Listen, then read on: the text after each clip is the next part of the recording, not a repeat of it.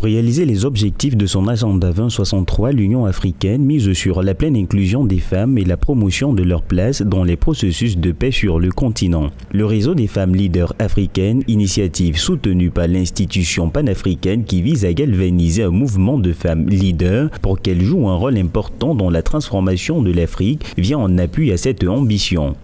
Nous avons créé une plateforme, un réseau des femmes. Comment les femmes peuvent se mettre ensemble, main dans la main, pour se dire nous allons faire cette plateforme, nous allons hum, travailler sur les questions de paix et sécurité, contribuer des questions de gouvernance. Elles ne veulent pas être juste bénéficiaires, elles veulent être au devant, à côté des hommes.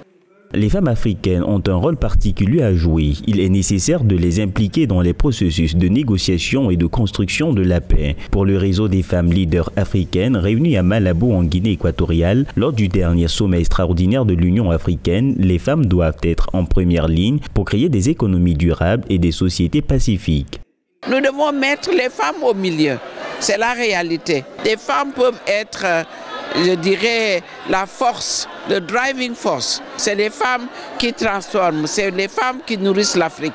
À côté des hommes, les femmes peuvent innover et trouver donc les mécanismes, trouver des financements nécessaires le réseau des femmes leaders africaines est engagé pour l'inclusion des femmes en Afrique. Du 13 au 15 août 2022, le mouvement des femmes a déployé une mission de solidarité au Kenya pour soutenir les efforts des femmes afin de promouvoir leur participation au leadership et d'amplifier leur voix dans la prévention des conflits pour des élections pacifiques. Une démarche que le réseau des femmes leaders africaines compte poursuivre en vue de renforcer la place des femmes sur le continent.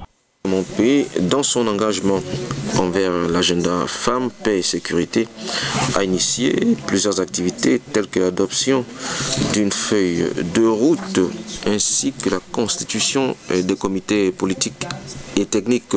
Des étapes euh, qui nous permettront d'achever bientôt la préparation d'un plan d'action national pour les politiques de développement des femmes. Je voudrais dans ce sens euh, vous informer des importantes résolutions adoptées en faveur des femmes euh, par le 7e congrès national ordinaire du Parti démocratique de Guinée équatoriale qui s'est tenu récemment et qui, entre autres euh, décisions adoptées, a fixé à 35% le quota minimum de participation des femmes aux sphères de décision.